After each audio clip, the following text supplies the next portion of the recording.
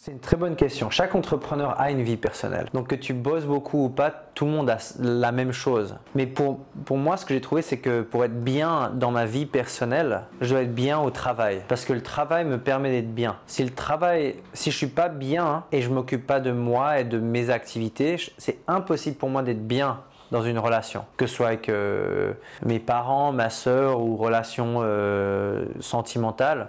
En tout cas, moi, pour moi, c'est impossible d'être bien avec d'autres si je suis pas bien moi-même. C'est pour ça que et c'est pour ça que je dis toujours que la personne à, qui vous devez penser d'abord, c'est vous. Si vous êtes misérable, c'est impossible d'être bien avec d'autres. Donc, il faut penser d'abord à soi. Donc, pour répondre à la question comment je balance finalement, la première chose c'est que tout passe par ma propre satisfaction d'abord. Et je sais qu'il y, y, a des personnes qui vont dire t'es égoïste. Oui, bien sûr, il faut être égoïste. Parce que si tu misérable au quotidien, c'est pas possible d'être bien avec les autres autour de toi.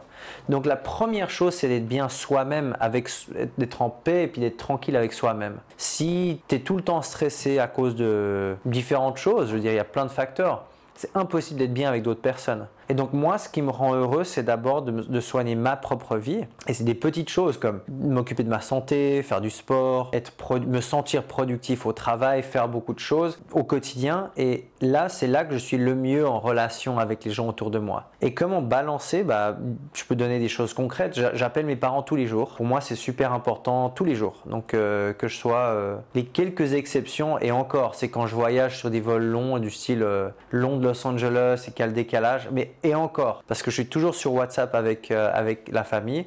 Donc pour moi, mes parents, c'est vraiment le plus important pour ça. Après, c'est vraiment une question de, d'être bien soi-même pour pouvoir donner aux autres. Et donc, que ce soit sur Instagram avec mes, mes, potes d'enfance, mes amis d'enfance, ou avec euh, copines, ou bien euh, amis que j'ai pas vus depuis longtemps. Tout passe vraiment pour moi par être bien avec moi-même. Et quand je suis pas bien avec moi-même, je peux pas être bien avec d'autres personnes. Et maintenant, j'ai appris, maintenant que j'ai 33 ans, euh, j'ai appris j'ai appris, je sais exactement ce que je dois faire moi pour être bien.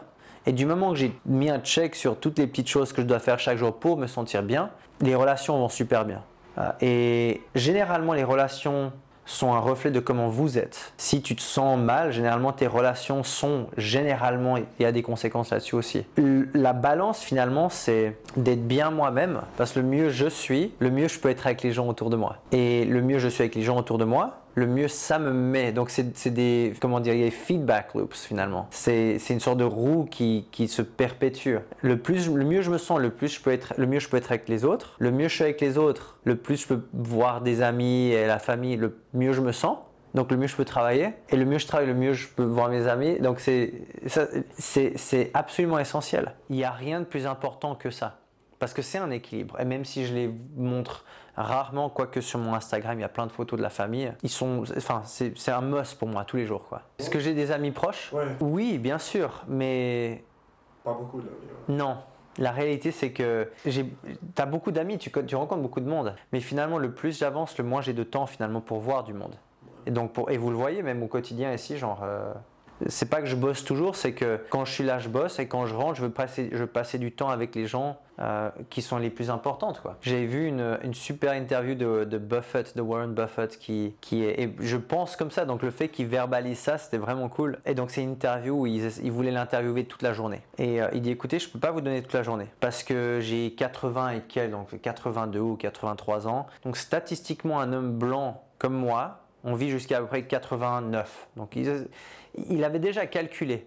Il dit voilà, donc moi il me reste en moyenne quelques années à vivre. Donc quelques années à vivre, disons que s'il me reste 5 ans à vivre, c'est-à-dire qu'il me reste environ 1600 jours. Et donc moi, si je dois vous donner un jour sur 1600, je suis pas content. Mais je peux vous donner quelques heures. Et, donc, j'ai trouvé ça vraiment cool, mais très respectueux. Dire ça de manière très respectueuse, je ne vais pas vous donner une unité complète de, du temps qui me reste. Je peux vous donner un petit peu, pour répondre à quelques questions. L'élément numéro un qui est le plus important pour moi, c'est mon temps et mon énergie. Parce que le temps, c'est une chose, mais c'est surtout l'énergie que tu as au quotidien. Et il y a des phases où tu peux avoir beaucoup de temps, mais tu es épuisé, donc tu pas productif. Et donc pour moi, le plus important, c'est de passer du temps et d'allouer du temps, et j'en parle toujours, enfin je pense beaucoup comme un investisseur, d'investir du temps sur les activités qui me rendent le plus heureux. Et si une activité me rend pas heureux, ou me rapporte pas d'argent, j'ai pas d'utilité à, investir mon temps là-dedans. Donc c'est très simple en fait. Et mes relations sont pareilles. Donc quand je passe du temps avec quelqu'un, ça doit me rapporter quelque chose. Donc ça doit me rapporter de la joie et puis du,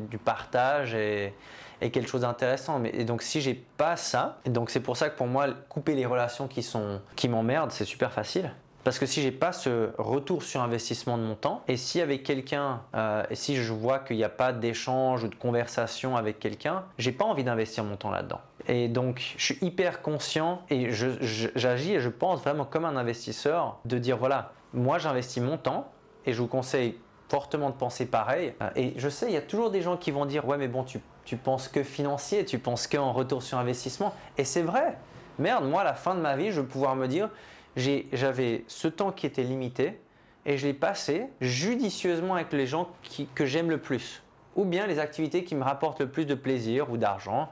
Et donc, bien sûr qu'il y, a un donnant-donnant. Je ne veux, pas, commencer à passer 10 euh, heures par jour à faire des choses que je déteste. Donc, tu veux, trouver des relations où tu as un retour. Et je pense qu'il y a beaucoup de personnes qui s'oublient et qui oublient ça et qui vivent des, mois, des années, parfois des décennies dans des relations qui sont moisies. Et finalement, tu as investi tout ton temps et tu reçois rien.